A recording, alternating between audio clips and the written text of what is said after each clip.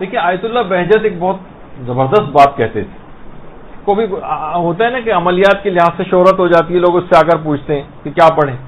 Ayatollah बहजत कहते थे, बस कहते थे कि सलावात पढ़ो, दुरूद पढ़ो इस्तफार पढ़ो। सलावात सलावात इस्तफार सलावात इस्तफार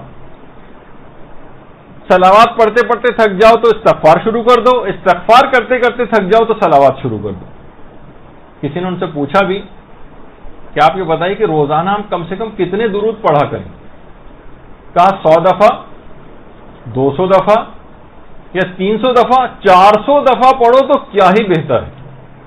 तो रोज़ाना के एतबार से कोई ज़्यादा बड़ी बात नहीं, चार सौ मरतबा अगर इंसान दरूद अपना एक शेवा बना ले, एक सीरत बना ले तो कहा कि बहुत ही पसंदीदा तो कहते थे, और किसी ज़िक्र को अगर पढ़ो या ना पढ़ो इस्तफार करो और दुरूद दुरूद इस्तफार एक पढ़ते पढ़ते थक जाओ तो दूसरा शुरू कर दो, दूसरा पढ़ते पढ़ते थक जाओ तो पहला शुरू कर दो।